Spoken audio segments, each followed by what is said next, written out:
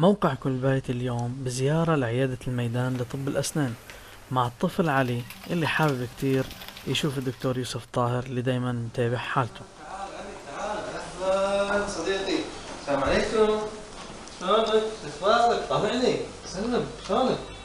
أخبارك؟ تمام؟ ها؟ وينك انت من زمان ما علينا؟ ها؟ ليش ما تجي من زمان؟ أخبارك؟ يا تقعد على الكرسي؟ ممتاز. أهلا وسهلا حياكم الله. أنا حاب بالبداية أشكر موقع كل بيت على تشريفهم لنا بالعيادة الميدان اليوم. حاب أعرفكم بنفسي معكم الدكتور يوسف حسن الطاهر من عيادة الميدان أخصائي طب أسنان الأطفال في العيادة.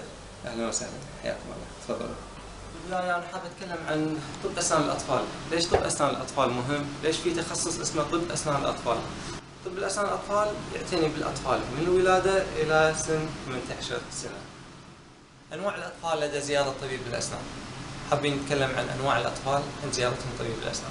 على طبيب الأسنان تعامل مع الأطفال مختلف سلوكياتهم مختلف ومدى تقبلهم للعلاج.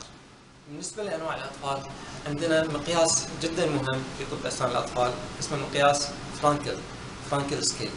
Frankl scale هذا قسم الاطفال على حسب مدى تعاونهم مع طبيب الأسنان. المستوى الأول من مقياس فرانكل هو نقول F1 هذا الطفل غير متعاون وسلبي جدا مع طبيب الأسنان، غير متقبل العلاج نهائيا، يرفض حتى الجلوس على كرسي طبيب الأسنان. المستوى الثاني اللي هو F2 هنقول فرانكل مقياس اثنين، هذا الطفل أيضا سلبي غير متعاون نوعا ما لكنه ممكن يجلس على على الكرسي.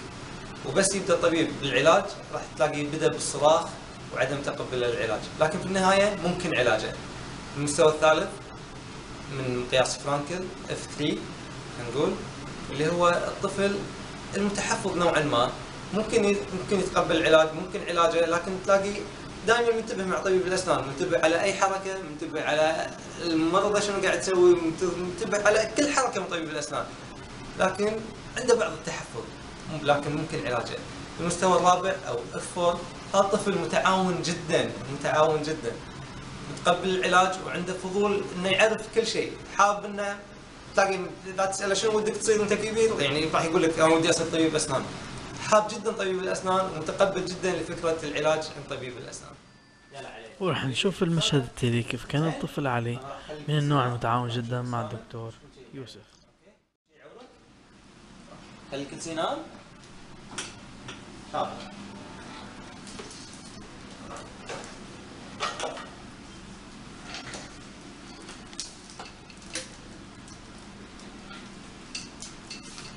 نرجع ورا علي حبيبي نرجع شوي ورا نرجع بعد بعد بعد بعد هني بعد هني. ممتاز شاطر. أيوه شاطر. خلينا نشوف شاطر ممتاز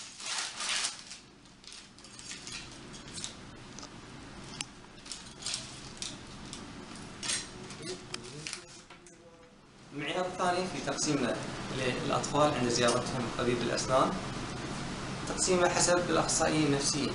قسموا لنا الأطفال إلى الطفل العنيد الطفل الخجول الطفل المدلل الطفل الخائف أطفال الإعاقة أو الأطفال المتعاونين التقسيمه الأولى الطفل الخجول. الطفل الخجول عادة ما أول ما يدش العيادة تلاقينه أو تلاقيه مختبئ. على طول أو منخش ورا أمه منخش ورا أبوه لازق بأبوه لازق بأمه تلاقي دائما عينه على الأرض. إذا طبيب يكلمه ما يرد على طبيب. شلونك حبيبي؟ شو أخبارك؟ تلاقي ساكت ما يرد على أحد ولا يرد على الممرضه ما يرد على أي أحد. الطفل هذا عادة ما يكون جدا متعاون لكن محتاج إلى بعض التشجيع. النوع الثاني من الأطفال حسب دراسات نفسية هو الطفل المدلل أو الطفل الدلوع. مثل ما نقول إحنا دلوع أمه وأبوه. تلاقي هذا أول ما دش تلاقي لازم بامه وأبوه ويرفض يعني بس تقول له راح اطلع أمك وابوك تلاقي على طول سكت وبدأ يتقبل العلاج. النوع الثالث من هذول الأطفال نقول الطفل العنيد. الطفل العنيد هذا الطفل غير متقبل للعلاج نهائيا.